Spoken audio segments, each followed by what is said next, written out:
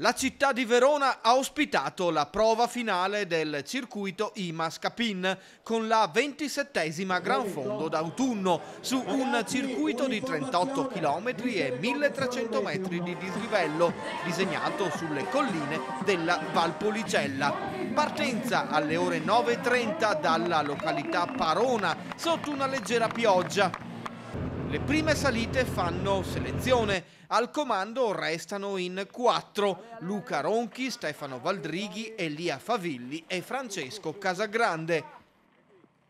Nei chilometri successivi l'atleta della Ciclita Day si porta al comando, mentre Elia Favilli è vittima di una foratura mentre si trova in seconda posizione.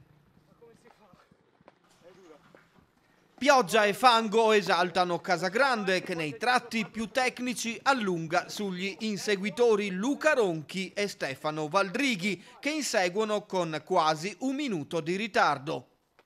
Continua il forcing di Francesco Casagrande fino all'arrivo di Parona, dove il toscano fa sua la Gran Fondo d'autunno con il tempo di un'ora 55 minuti e 9 secondi. Secondo e terzo gradino del podio tutto su Dal Likugan, con rispettivamente Stefano Valdrighi e Luca Ronchi. Nella gara femminile dominio assoluto per Annabella Stropparo che dopo una gara sempre da sola al comando va a vincere la Gran Fondo d'autunno davanti ad Elena Gaddoni e Alice Lunardini.